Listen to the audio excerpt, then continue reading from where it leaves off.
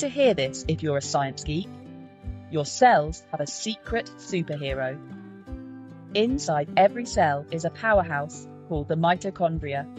It's like the battery pack for your body, giving you the energy to do, well, everything. Picture tiny power plants churning out energy faster than you can say adenosine triphosphate, or ATP for short. But wait, there's more.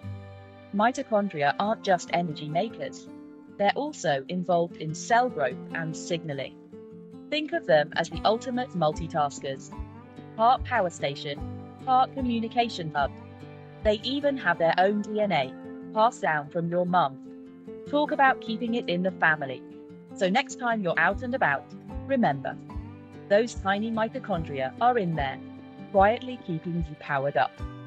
Give them a mental high five. Who knew cell biology could be this electrifying? Stay curious, science lovers.